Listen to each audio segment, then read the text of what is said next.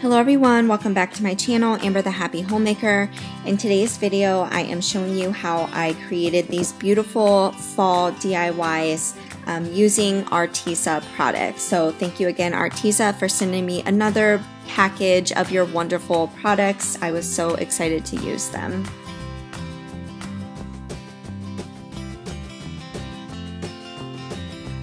If you haven't guessed it yet, this video is sponsored by Arteza. They have graciously sent me another um, round of items to try out, which if you saw the previous clip, that's what all this is from.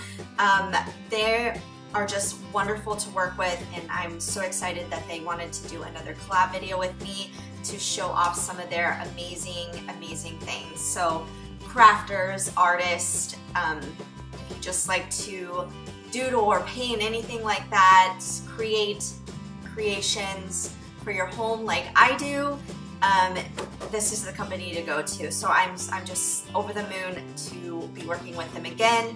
If you want to check out their site, make sure you go check the links down below. All of these items will be listed.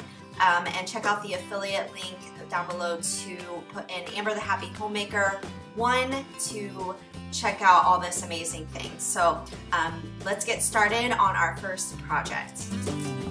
So the first product that I'm using is the Extra Fine Non-Toxic Easy Pour Jars of Glitter. There is 54 glitter jars in this kit and I could not be more pleased with the amount of glitter that comes in here. There is so many different colors as you just seen on the back of the box. Um, just so many and they all are beautiful. They're very high definition um, glitter, so very good for multiple different projects, especially if you have kids. Um, kids love glitter, so um, I can just think of a, a number of different projects that I can do with my kids. The first one that I am doing here though is I am going to be doing and decorating these pumpkins that I got at the Dollar Tree. I'm just using some Aleene's glue and painting the pumpkins with that so I have a nice sticky base to adhere my glitter to. So here I'm using the burnt orange glitter out of the pack and this glitter is stunning. Um, it just, it's so shiny. Um, and it's it's just again very high definition. It's just beautiful. So um, I was really pleased with how these little pumpkins turned out and that I can add my own little touches to so I'm just gonna make sure I have a nice um, coat of glitter on here so none of the white shows through and it is all the way covered. Um, so again you don't have any spots and it looks like one cohesive um, pattern of glitter. I am using a tray underneath to catch all the excess glitter so I can put it back into um, the jar. So again, I'm just using um, another different pumpkin and again, doing the same process, painting it with the glue. And then this time I am using, there's a couple different white shades in the kit. I thought I grabbed the Snow White. I did not. I grabbed the Neon uh, White and which is totally fine. It looks the exact same when it's in the light, but this one does glow in the dark, which is totally fine because most things during Halloween glow in the dark, but um, so it turned out just as good. I am spraying some Mod Podge um, spray on there just to kind of keep the glue intact and not have so much fallout. Here I'm attaching one piece of lamb's ear to give myself my leaf and then I am going around the stem with some twine just to give it that more farmhouse touch um, because that is kind of the theme in my home. Um, it just makes it look a little bit more rustic.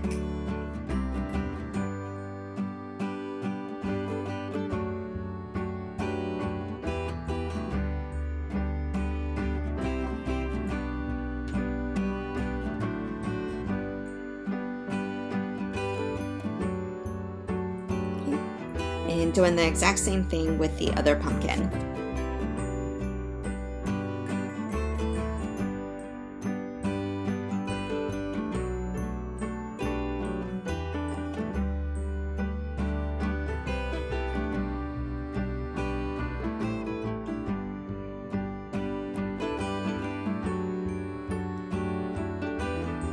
So these are how they turned out when I was done, and I was really excited about it.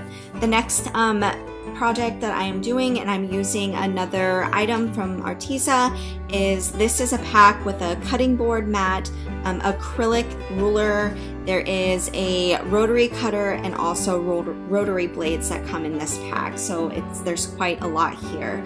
Um, these are the items that I'm going to be using. I have a wreath, some shiny pumpkins from the Dollar Tree, again the Arteza felt, which is just 50 sheets of felt fabric, and I'm just using some also some greenery to make a nice wreath for the fall. So I cut a circle and I'm going to be using the fabric felt sheet to just go around this glitter pumpkin to add um, again just more rustic farmhouse looking um, just to cover the glitter up and to give myself a nice base. This is just an easy project and kind of go with the theme that I was going for on the door. Um, and I'm making two different pumpkins. I'm making a white one and this like off orange color um, and I'm just kind of pleating it around the pumpkin to make the lines, I guess, of a natural pumpkin. Um, it's just an easier way for me to do that. So um, I'm just going around pleating and then gluing it down um, with some hot glue.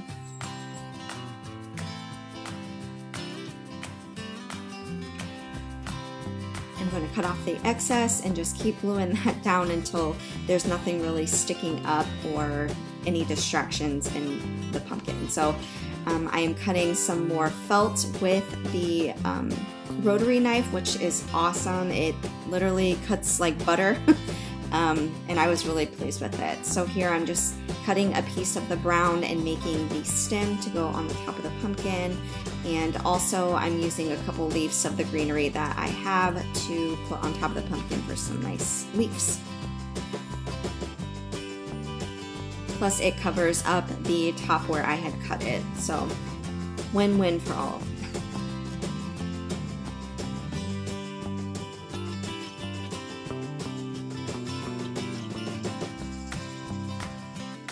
So you got this cute little pumpkin.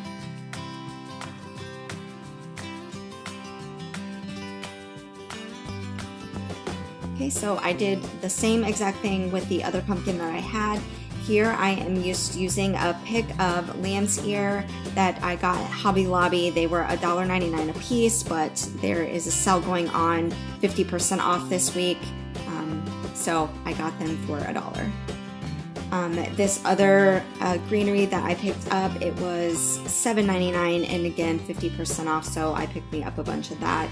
And I'm just cutting a few twigs off of that and just laying it just to layer it and give it more dimension. So now I'm going to be adding my little pumpkins that I made with the felt that I got and I just think it's absolutely adorable.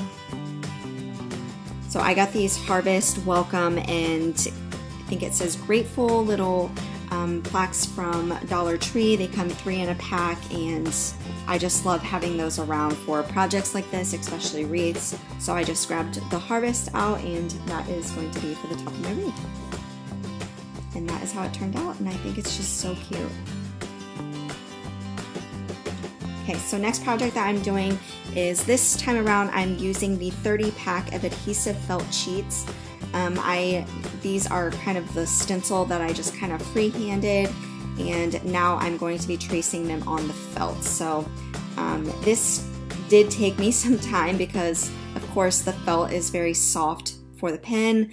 Um, which the felt pen markers that I did get sent, those would have been um, perfect for this, but I was just trying to get this done quickly. But anyways, um, I'm going to cut the felt out of um, the stencil for the pumpkin so I can make a board with this pumpkin on it. And my camera cut out when I was laying these pieces on the board, so you will kind of see right here the finished product. Um, so again, just cutting I stenciled all of that kind of free-handedly and just placed it on this board. I used lath um, for many different projects that I have and the ribbon came from Dollar Tree. I just wrapped the ends of that and then laid the felt adhesive down to create this cute little pumpkin.